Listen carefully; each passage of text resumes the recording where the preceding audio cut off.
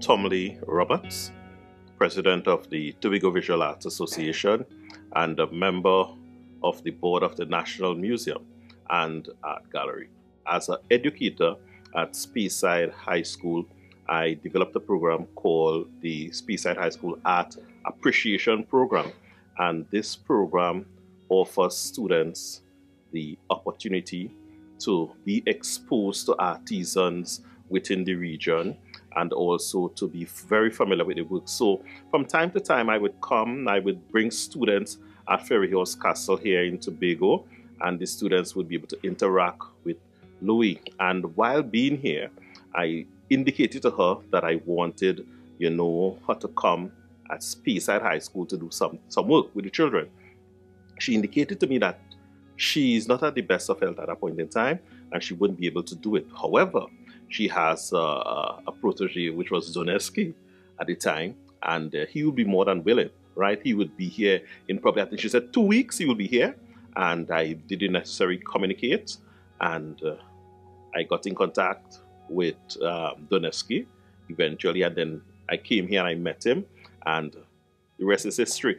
since after that, we've been in close contact. In fact, Dunieski has also been a part of the Tobago Visual Arts Association and he's there working with us and we're all working together to ensure that art has its rightful place in the Caribbean region.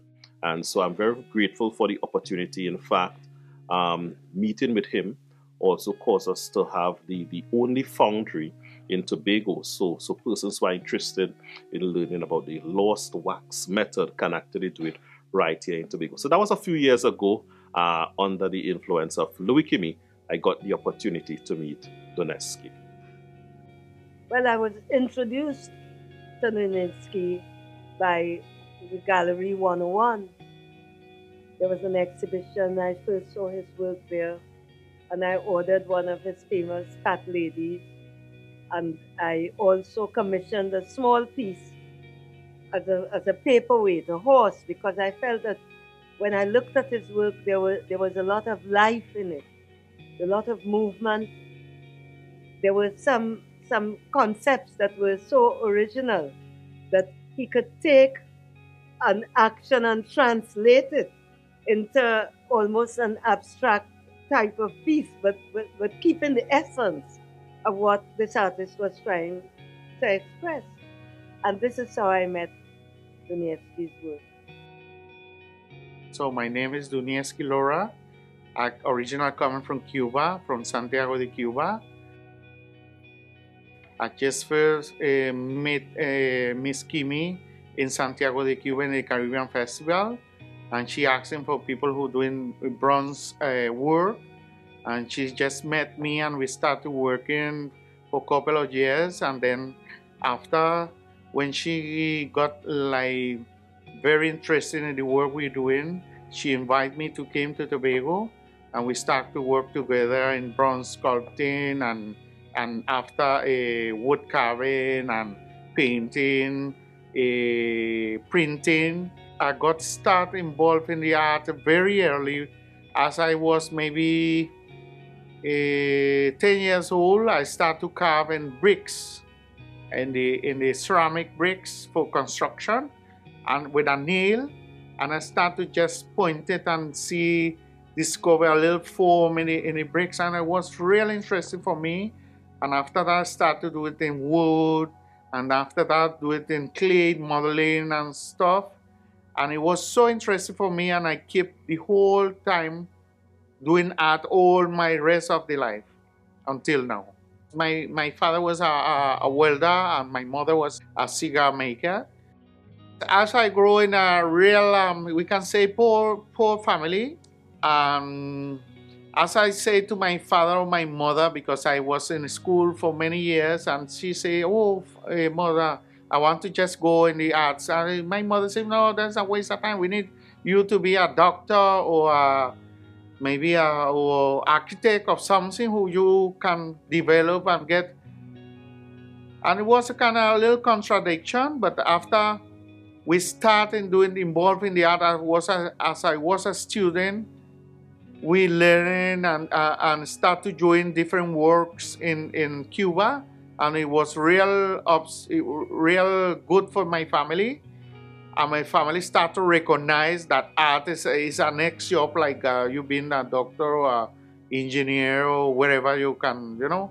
So in the beginning, I was um, working in the, in the art academy.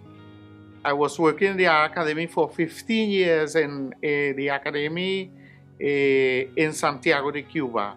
So I have been teaching many students and uh, I started drawing, teaching drawing and, and then a ceramic with glaze and stuff and then I started doing a sculpting and in the technique of um, bronze casting. I just travel everywhere in the world and do all kind of different work in Europe, in all over the Caribbean, in Mexico, in Chile, all kind of different countries.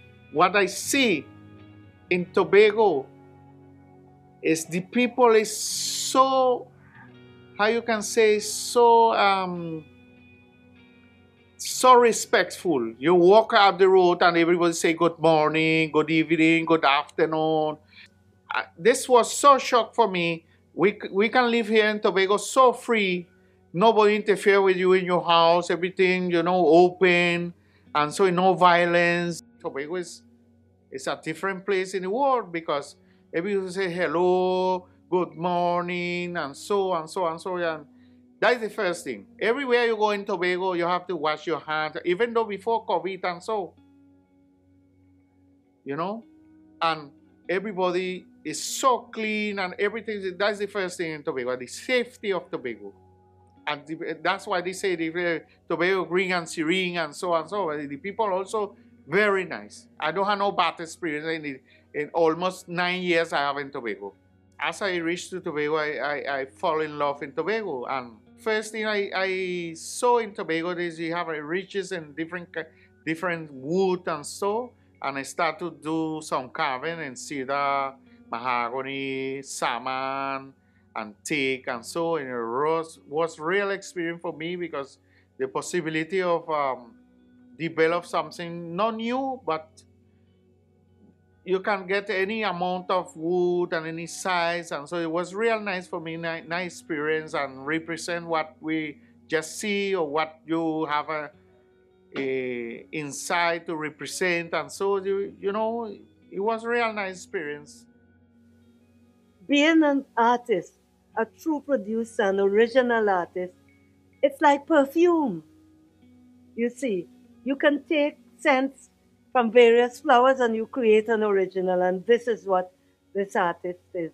He's our Picasso. He's in New us. He loves us. He's from Cuba and he interprets our life. And I'm honored and happy to know him. Dunieski, I would want to agree that. He is in fact a genius and very skilled in his craft. Now, the lost wax method, ancient artistic technique in terms of sculpture is a very difficult process and it's it's it takes a lot of time right nonetheless Dunieski is able to use all the basic techniques throughout the process create true representation in his work right what that means simply is that he's able to produce a sculpture right which is actually a 99% replica of the person. And to me, that is phenomenal. All right, I've seen sculptures all over the world, and some of them resemble the person, or you may have a close resemblance, but I, I would want to say Dunieski is very, very accurate, and uh, I would recommend him to do any type of lost wax sculpture throughout the region because I honestly believe that he has owned his craft and he is working quite well. I am also privileged to, you know, have the opportunity to work with him as well. Um, he has done some work at Speyside High School with the students, showing them how to do basic sculpture and so forth. And to me, that is that is really admirable because you you see, a genius is one who is not afraid to share.